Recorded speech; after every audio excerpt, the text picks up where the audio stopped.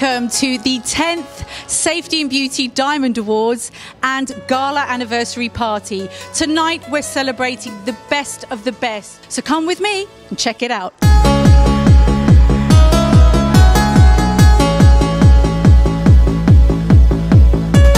doctors, medics and businesses that fight to make this industry.